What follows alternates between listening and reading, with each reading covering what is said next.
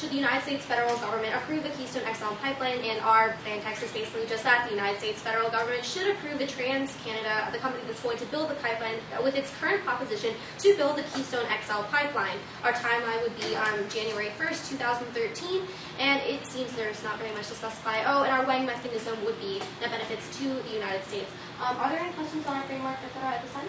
All right, with that, I'll just move on to our advantages, etc.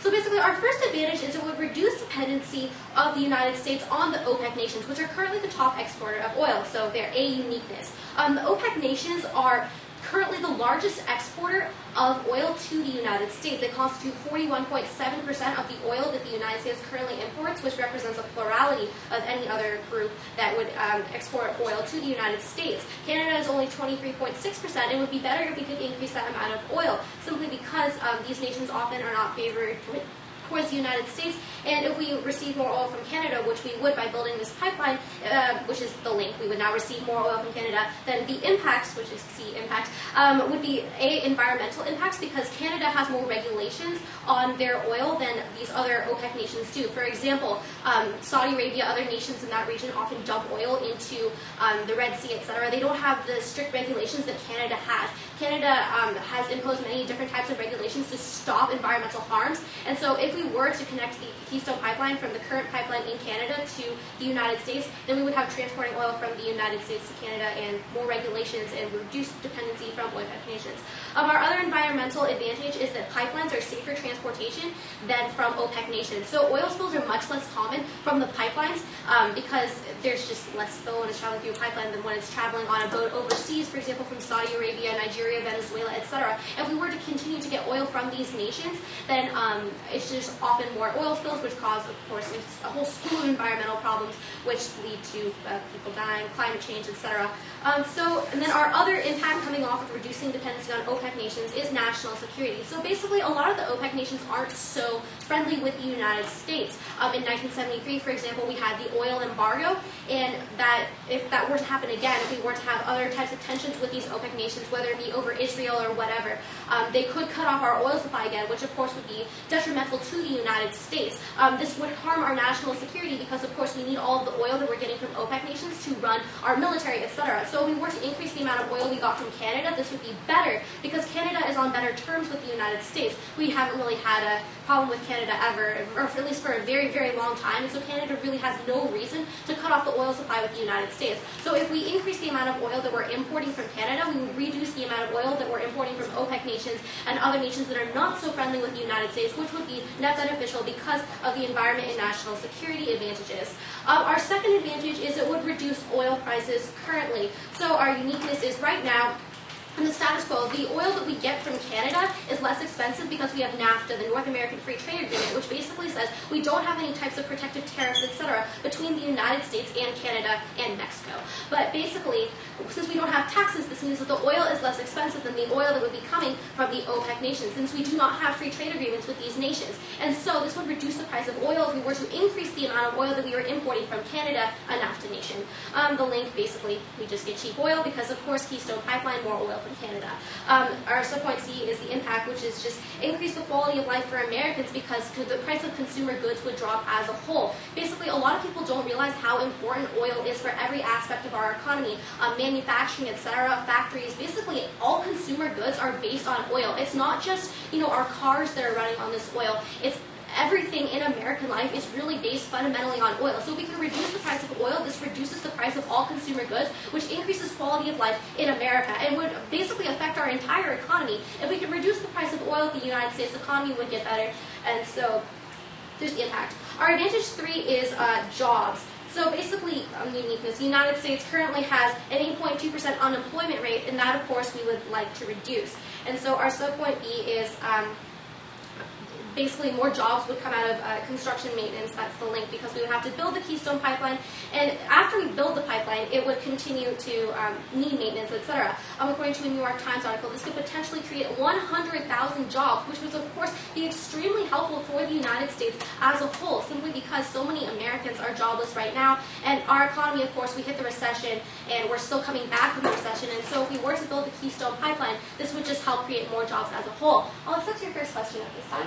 I heard that most of these jobs will go to the Keystone Company, so actually new people wouldn't be getting jobs. It would just be the same people doing their same jobs. Not necessarily, because if we're actually constructing more things, obviously the currently employed Keystone employees have jobs that they're doing right now, and so we're going to need more people for construction, etc. Obviously, they're not just going to be the same people. I don't know what current Keystone employees do. I mean, they're probably people, you know, who work in the government, etc. But they're not the actual construction people. The people of maintenance of the pipeline, obviously, there is no maintenance of the pipeline because the Keystone XL pipeline currently does not exist. And so the manufacturing of this pipeline would basically just uh, create more jobs in the United States. And after it's built, we'll have to continue maintenance, etc. So there would be continued jobs in the United States as a result of this pipeline. Um, the impact is we'll have jobs for the jobless, which would lead to a higher quality of life. This basically ties into our second contention. If we improve the economy in the United States, it would just create a better situation overall in the United States um, that would just improve quality of life and uh, make things better. And so um, the last thing that I kind of want to talk about is I, am not really sure, it's not really a contention, but um, there, the Keystone Pipeline in Canada has already been built, so there's already um, a piece of the pipeline that exists in Canada. And so um, if they try to bring up any environmental disadvantages about how you know using oil sands is bad, etc., the Keystone Pipeline already exists. It's the XL extension that we would be building. So if they're going to come up here and tell you that it would be bad for the environment, um, etc., if we're going to be getting oil from oil sands, that oil is already going to be coming out of the oil sands, and Canada is already going to be producing this oil because they already have the Keystone Pipeline in Canada. The only difference is if we don't build the XL extension, that oil is not going to be coming to the United States, but instead is going to be going to other nations that have this demand demand for oil. Because Canada, of course, can sell its oil to any other nation. You know, those nations could be nations that we don't necessarily want this oil to be going to. Perhaps it's better for this oil to be coming to the United States rather than China, etc. And so for all of these reasons, I strongly urge a vote in favor of the affirmation today. Thank you.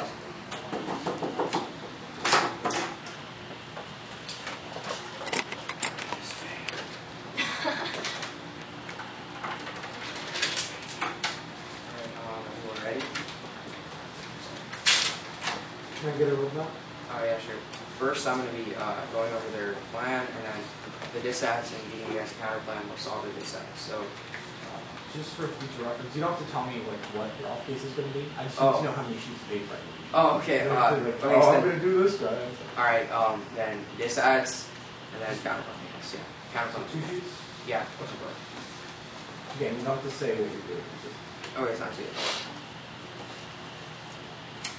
on November 29th, 2000, oh wait, you guys, you guys ready? Sorry. on November 29th, 2011, an article in the New York Times, Mark Whitman wrote that Profits Before Environment, in, in an article entitled Profits Before Environment, he wrote that if the Keystone Pipeline is built, we're going to see a rising production of greenhouse gas emissions because tar sands produce three times as many greenhouse gases as conventional fuel. It's because of this that we're going to propose a counter plan today. It's going to be solving for the uh, specifically for the disads of their plan, and gonna, uh, it's going to help America more in the long term. But first, let's look at their plan today. Their plan today is the United States federal government should approve the TransCanada pipeline by January 1st, 2013. First of all, let's look at their solvency.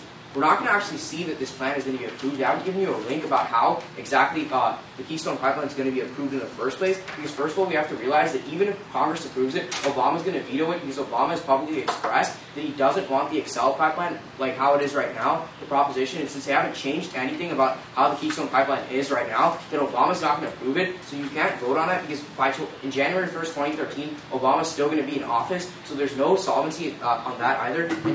And secondly, for funding, they haven't pro- proposed any like funding at all and talked about it or talked about it at all. And they're talking about these impacts of the Keystone XL pipeline without actually like giving us a proper funding. So I'd like you guys to take those into consideration and uh, take your take your one. Uh, when TransCanada, the company that's building the pipeline, fund the pipeline? Yeah, we just wanted like you know a number, but yeah, I guess that should work. But then let's look at the, let's look at their contention today. First of all, they're saying that it's going to reduce their dependency from OPEC nations. First of all, we're still going to be reduced on it, but our counter plan we're going to eliminate or uh, do far more reducing dependency from OPEC nations.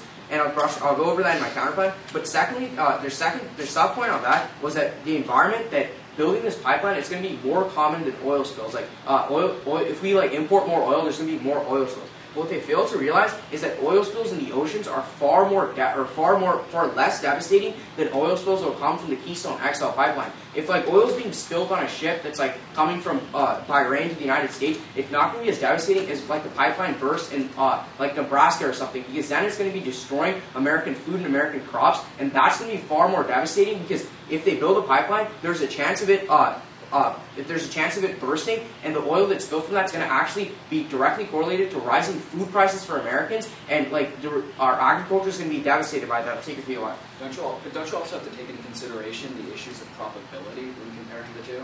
Yeah, that's what we're saying. Like the pro- okay, maybe the probability of an oil spill is uh, oil spill in the ocean, like by a ship, is higher than the probability of a pipeline. But the magnitude of devastation from an oil uh, pipeline burst in the heartland is far higher than an oil spill in the middle of the Pacific Ocean. That's the thing because an, an oil spill in the middle of the Pacific Ocean isn't going to hurt America as much as an oil spill in like Nebraska because in Nebraska that's like the heartland where all our food is produced. And if food prices go up from these devastating tar sand spills, then we're going to see a spike in food, uh, spike in the cost of food, and that's going to uh, dis- or disadvantage Americans even further. Their second contention is that there's going to be reduced costs in oil. But in fact, the Associated Press did a report and they found out that the Keystone, it wouldn't in fact actually substantially reduce the prices of oil. They're proposing this plan that's going to like hurt the environment in America that's uh, a lot, but ultimately it's not going to actually be like, you know, reducing the price of oil by like half or anything. It's going to be, if it does, it's going to be a minimal amount. So like the risk of uh, damage outweighs like the small benefit that Americans will get from like one or two cents being reduced in their price,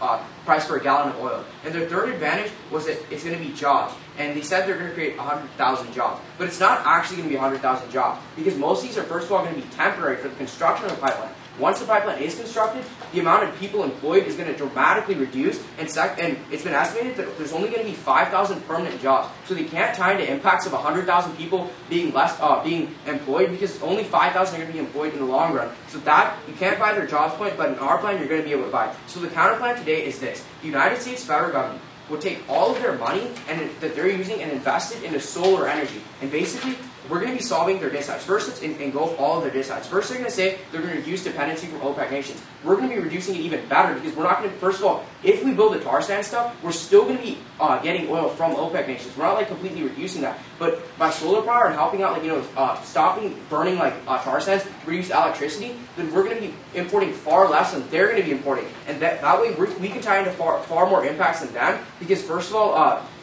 we're not going to be uh, as dependent on OPEC nations. I'll take one POI. Uh, what's the status of your plan? Conditional, conditional. What do you mean? Oh, sorry. Um, like, is it conditional? Uh, no, it's not conditional. We're like the money. You, if uh, you're saying you're going to approve the Keystone XL pipeline, we're saying we're not going to approve it, and we're just going to uh, the the funding is going to come from the Department of Energy, and we're going to invest in solar energy to power America. So like uh, the time, as we said, the funding time frame is pretty much the same as theirs. And so first of all, that was the first advantage. And the environment, they're saying uh, we're actually going to be solving for the harms that are coming to the environment because first of all, we're, we're not going to be importing tar sands because tar sands, when you burn them, they emit three times as many as normal greenhouse gases. We're not going to be emitting these uh, emitting these gases. Instead, we're going to be relying on renewable sources of energy that don't emit any uh, harmful gases. So we're going to be solving for the environment even better than them. Se- the second was reduced costs. We're going to have an even farther reduced cost because we're going to be importing the soil and more of this solar power because solar power is pretty. It's like honestly, it's cheap. It's free because it's coming from the sun. We're not. It's not going to be like that much money at all. And basically, uh, we're solving for that. And third is jobs. Is that we're going to have jobs too for solar power, and it's going to be uh, uh, more jobs because we're investing in it. For uh, instead of just building a pipeline, we're investing in it. There's going to be more jobs for like production, for like research, things like that. And basically, the advantages for us today is that first of all, we're going to actually be um, improving the environment. They, they're not really like impacting the environment, but we're going to impact the environment because the environment is really crucial. First of all, they're really harming the United States environment because it's going right through our major like food area. Our solar power, we're going to be helping the environment, and that's going to be beneficial because like uh, we can't exist without the environment. It's like pretty straightforward. And our that was our first advantage. Our second advantage is that it's going to increase American soft power. Currently, China leads the world in solar power like uh, distribution and like use of uh, like dramatic increases in renewable energy. And the problem with this is that we, the United States, the world's most powerful country, aren't investing and buckling down on green energy. It's going to be like China's doing this, and like we're not, and that's going to reduce soft power because people are going to realize like the United States isn't like the future isn't being made in the United States. Instead, we're relying on old methods to tarnish the environment. So that's bad because to reduce trade, things like that. So we can't actually like uh, pass their plan because our plan solves it better. We're, their plan's going to be hurting um, American stock power and global image, where ours actually helps it out. And uh, secondly, nine out of ten American, or thirdly, nine out of ten Americans favor solar energy, and because of that percentage, we can see that government is a tool for the people, and we have to allow this to pass because what, what the people want, we have to allow it to pass. So people want renewable, renewable energy, so that has to pass. And we can clearly see that because our plan solves for all of the disadvantages and uh, does more than their plan in terms of benefits, you have to vote negation today. Thank you.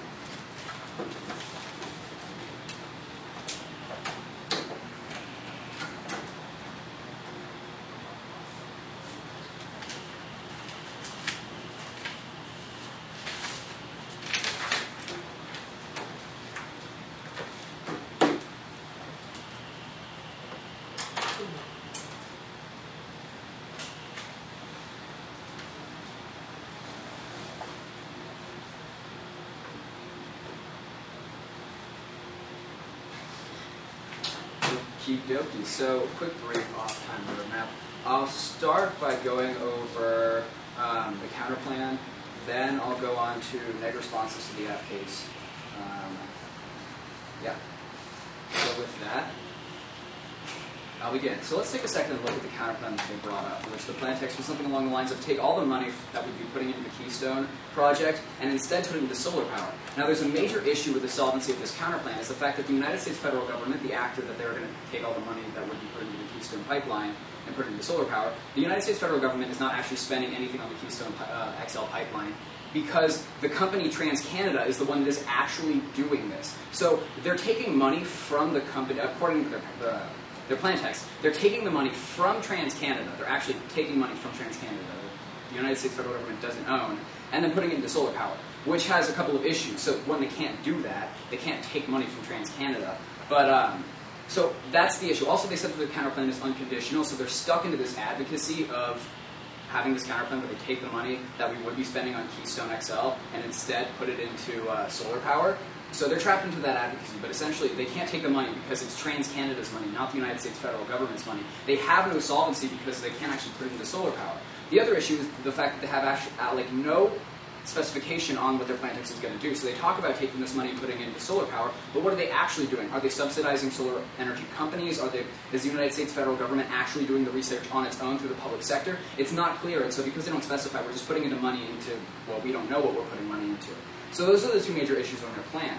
And so um, before I go into their advantages, I just want to say one more thing. In the event that they, uh, that ultimately we, we can still, the affirmative team can still confirm their counterplan. We can do our plan and the negative counterplan if they change it from taking the money from TransCanada and just have the U.S. government deficit spend or something like that. We can do it too. We can also put all, put the, the same amount of money into solar power, so we get all of their advantages.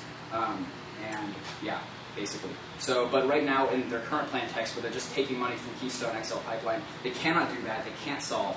And for these reasons, you can't vote for the counterplan. You can't vote for the opposition team.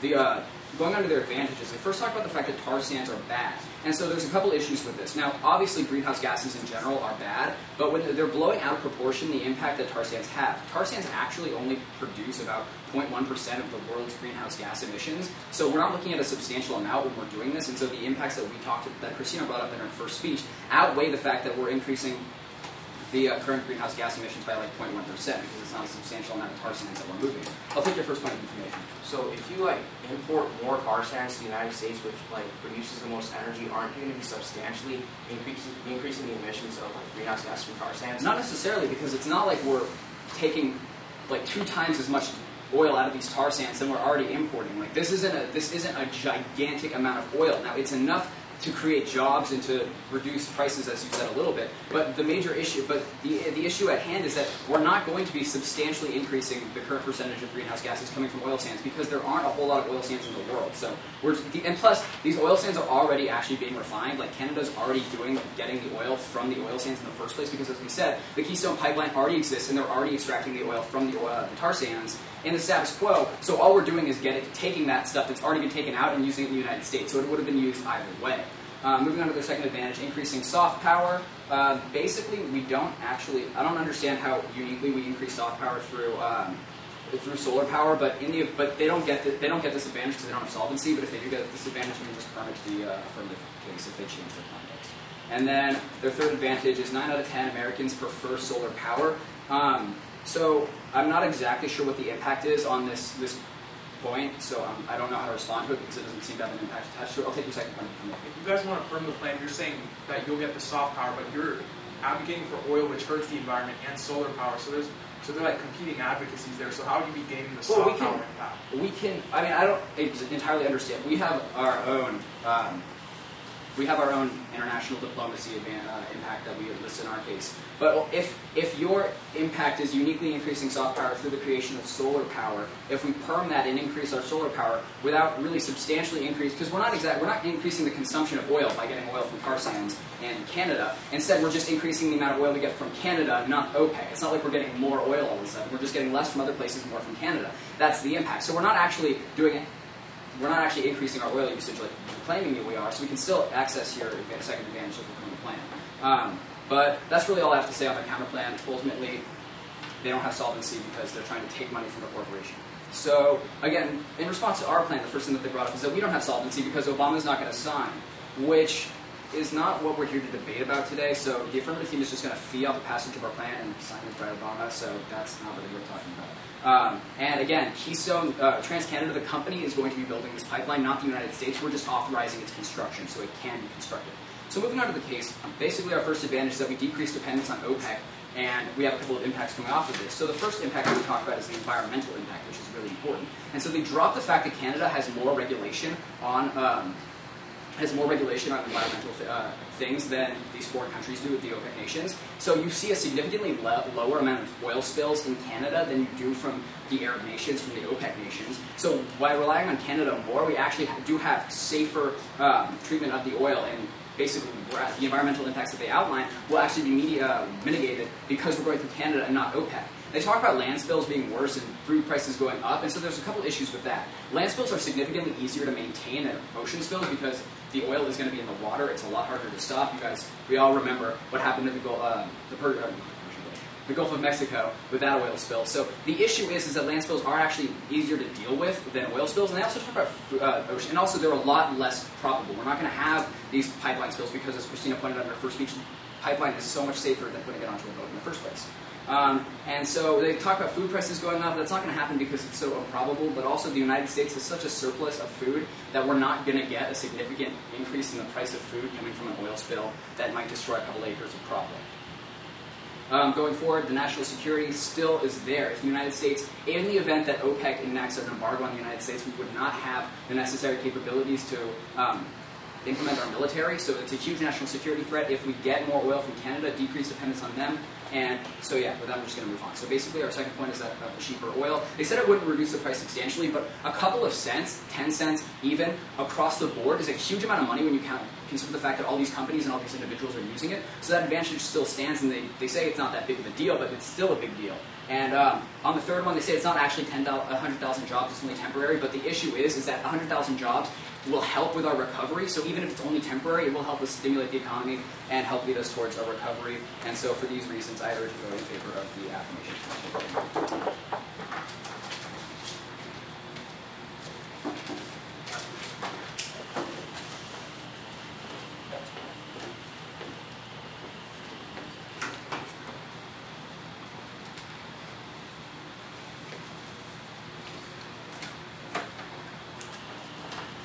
Okay, so I'm going to go talk about our counter plan first, about why it should still stand, and then I'm going to talk about uh, their case and refute their counter ramifications, I would say, and then move on to our like, counter plan, the benefits and stuff. Does that kind of make sense? No, do that again. Okay.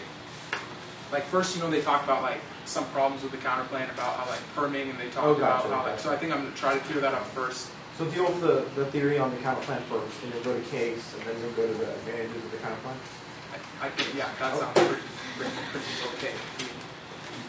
Just make sure you let me know where you are. Okay. All right.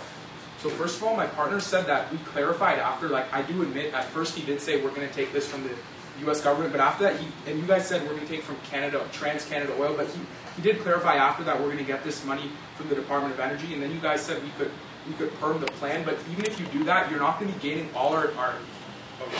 Wait, so just to clarify, we're just going to take money from the Department of Energy and just spend it? Do you give any, like, like how much we're getting, like, um, where we're going to get, raise the funding, et cetera? Like, specification on your plan?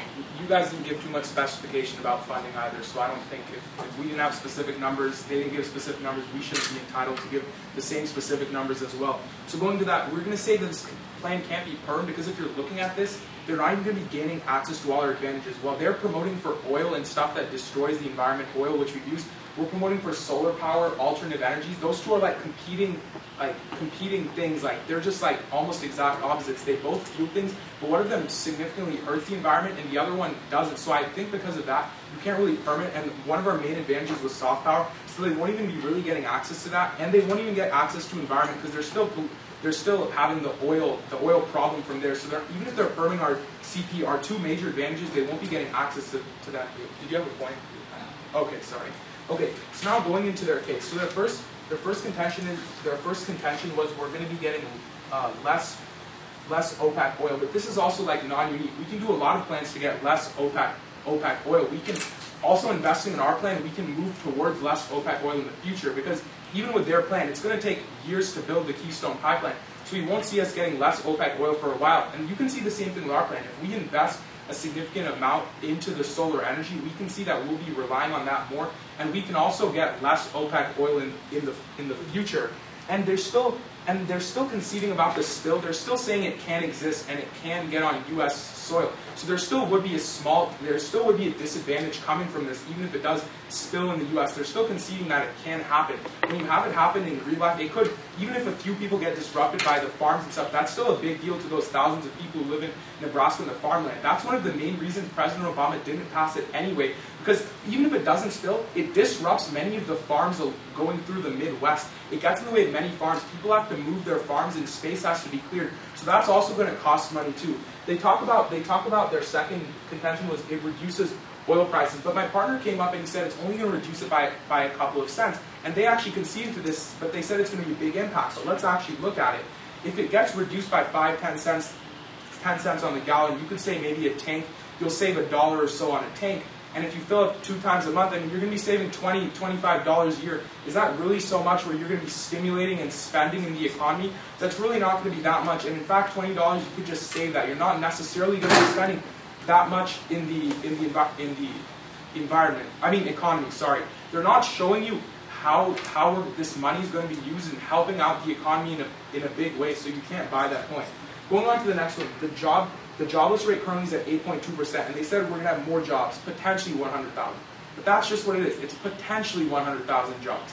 And me and my partner came up here and we told you about actually we're only going to have five or 6,000 jobs in construction, and actually many of these jobs are just going to be taken by the Keystone pipeline workers themselves themselves will just keep their same jobs and like people who are working on getting this passed will simply move into a different department but still working on this. So many of the jobs already exist and we're only going to be seeing a few permanent jobs. And after it's finished, like my partner said, we're not going to be seeing so many jobs, and we're actually moving out of the recovery right now, so we don't necessarily need a big, big simulation of jobs. And like my partner said, our counterplan, we're investing into solar. We're investing into solar energy research and technology. So you can also see see jobs coming from our plan too. But the big reason why we're winning today is uh, is on the environment. They keep they keep saying that oh we're not going to be using more oil. But the way it is today, in the next 30 years, we could see the sea levels go up and rise over and come onto countries like global warming is happening at, at an alarming rate. And and even at the oil the amount of oil we use now, even if they say it's going to be consistent with the amount of oil we use now, that's still not going to be helping to solve global warming. Global warming is still ha happening. We're not saying that more oil will, you know, we'll be using more oil, so this will hurt the environment more. Even if we use the amount of oil we do now, that's still going to hurt us, and that's still going to lead to global warming, and the world will end sooner if you vote for their plan. With our plan, we're looking to use our we're, we're looking to use solar energy to help wean ourselves off oil. With their plan, you're not weaning yourselves off oil. You're still using the oil. Yes. Did you give any warrants saying that solar power will actually solve all these issues that you're talking about? We can. It'll. It'll at least help solve the issues. It'll. It'll talk about. We're taking a step in the right direction. We're taking a step in looking for the long term of the long-term future of the United States, while their future is just a short-term, short-term oil thing. We are taking a step to perhaps solving it. With our plan, there's a chance that starting with solar power, then if it works, we can start investing in new, new technology. We're taking steps in the right direction, which should be commended. Whereas they're just taking steps in the same oil oil production and the oil we've been using for years, which is what scientists have been saying. If we keep using oil at the same rate, which is what we're doing under their plan, using oil at the same rate as we do now, we will move to global global warming. But uniquely with our plan, we're not going to be even for a little while. They, they might come up here and say, well, until you get these solar power plants running and more alternative running, you're still using the same amount of oil. Yes, that might be true, but in the but in 20, 30 years down the line, we might be using less oil thanks to all our alternative energy. Just to clarify in the counter plan, they don't have any access to our thing because we we said how these competing advocacies of oil and solar panel. So the the world would not think of this more as soft power because the thing is that we're actually hurting the environment and at the same time we're helping it. This is just contradictory. So you're not going to be gaining the advantage that we get off the soft power. Yes. Is the United States currently developing solar power while also using oil? Yes, that may be true, but we look bad for the oil. In our plan specifically, we are going down on the oil. That's what we're saying. In the future, because of more technology, we will decrease our oil consumption. In, and right now, we don't look so good to the world in the environment. So if they're sticking with that, many countries don't see us as very good. China, on the other hand, is investing tons more into solar energy, and people are looking up to China. If we expect the world to change to solve the global warming crisis, we have to be a beacon of, of, of light and shining hope for the world to look at us and say, hey, if the United States can do this and help the environment, then we can do it too, and they'll be have more incentive to invest because they see the United States doing it. For all those reasons, I strongly urge the negative ballot. Thank you.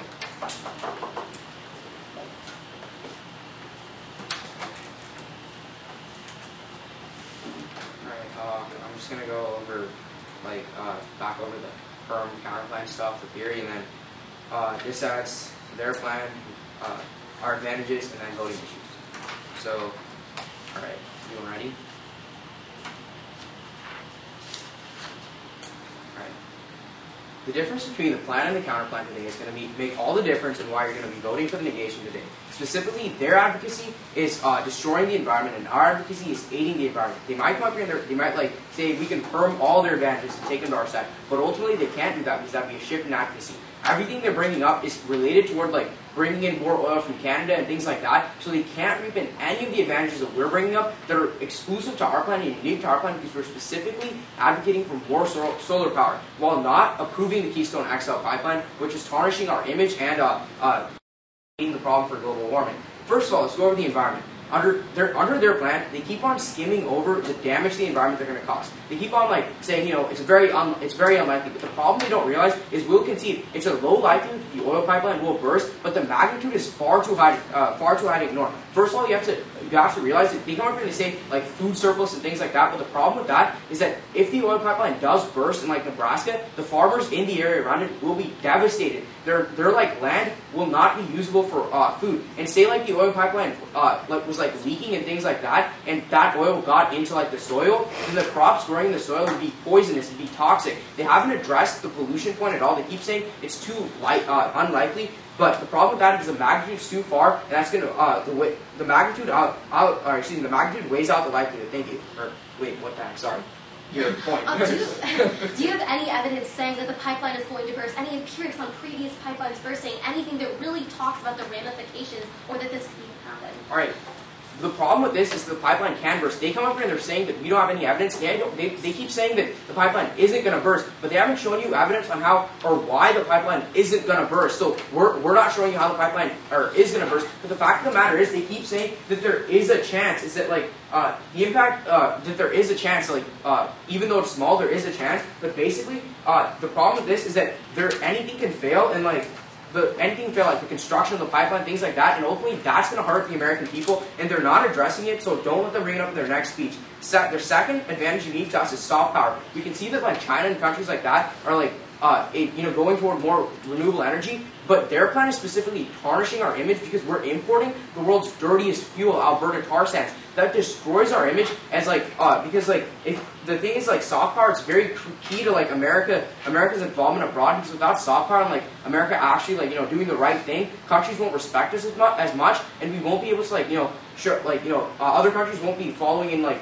global warming pre- prevention, things like that. So only that's that uh, benefit is only coming from our side, and there it's a disadvantage on their side. The third is that nine out of ten Americans they didn't respond to this at all because government legitimacy is very important. We have to realize that if nine out of ten Americans want more investment, then we have to do it because the government is like a tool for the people. They, they keep saying we don't have an impact attached to it. I, we don't like need to spell out every impact. The fact of the matter is that Congress is like a representation of the American people, and when nine out of ten Americans, far more than two thirds want it, we have to we have to allow solar energy to pass. And basically, that's the difference between uh, uh, their plan and uh, uh, their advocacy, or excuse me, those are the sides of their plan. And the advantages coming off of our plan is first of all, as I said, soft power, the impacts off that. Secondly, environment, because we're going to be taking out like solar power. Uh, it's going to be taking out so many like uh, oil barrels out of the American, like how much we're consuming. So basically, there's that advantage because the environment, the impact is too far like for me to articulate because like they like I can't I can't say it enough because like if we if there is an oil spill or something like that, especially because tar sands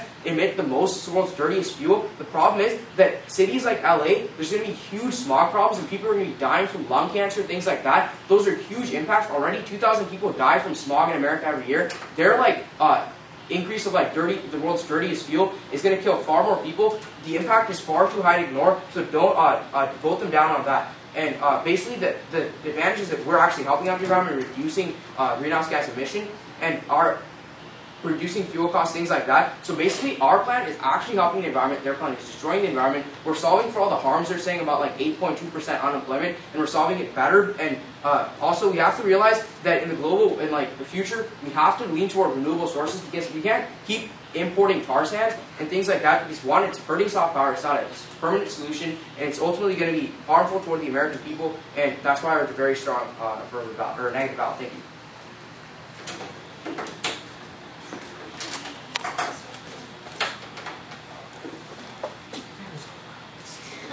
Oh, I believe this is oh, no problem.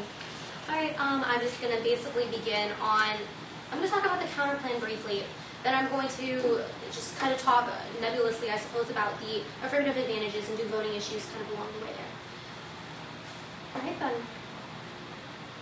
So once again, they really don't have any specification on the counter plan they provide, and they say that they don't need specification because we don't provide specification. However, we do provide specification. We just said that we would do the plan that has currently been proposed by the TransCanada, um, the Trans Canada company that's going to be building the pipeline. We don't need to talk about how much funding the United States federal government, the actor in this resolution, is going to be spending simply because they're not spending any money. They're simply authorizing the Keystone Pipeline to be built, whereas they don't offer any types of specification on what they're doing. They're just saying they're getting the money from the Department of Energy. Well, where's that money coming from? Are they borrowing money from foreign nations? Are we are we going to um, implement some kind of new tax this money? They don't have a funding plan. They also don't have a time frame plan. They don't even say what they're going to do. They don't say whether they're going to give subsidies to companies. They don't say whether it's going to be through the private sector, the public sector. What exactly is going to be happening with their plan? And they also don't provide a link between investment and solar success. So basically, they really don't specify anything what they're doing. So I don't really see how you could vote on this counter plan.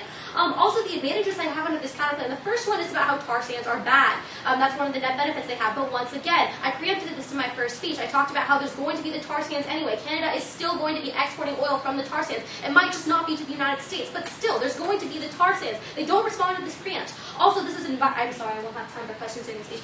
Also, um, they don't respond to the other environmental um, advantages that we talk about. They completely drop the point about how Canada has more regulation than OPEC nations. They don't respond to it during their first speech. They don't respond to it during the block. So once again, kind of the uh, environmental advantages are outweighed. Also, they don't respond to the statistics that my partner provided about how tar sands are only 0.1% of um, greenhouse gases, etc. So they're not even going to be increasing global warming very much.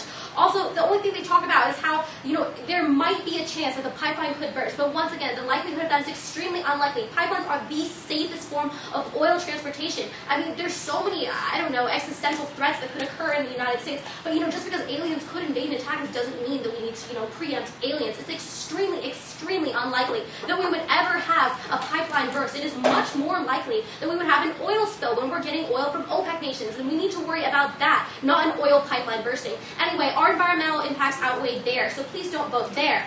Um, also, there are other two advantages. Increasing soft power, they still don't really provide impacts there. And 9 out of 10 Americans prefer soft power. Once again, no impact. They don't really explain to you why this matters, why this is important the round day, how this is actually going to save lives, improve quality of life, or what exactly their counterplan does. And even if you believe that their counterplan does something, once again, there's the perm. They say it's mutually exclusive. However, it's not. We could hypothetically do both. We are currently doing both. And if we're going to develop solar power anyway, we would still need oil to keep our country running while we're developing solar power. Obviously, the two are not mutually exclusive. So even if you buy everything they're saying, um, they're still not mutually exclusive. Perm do both advocacy for the affirmative.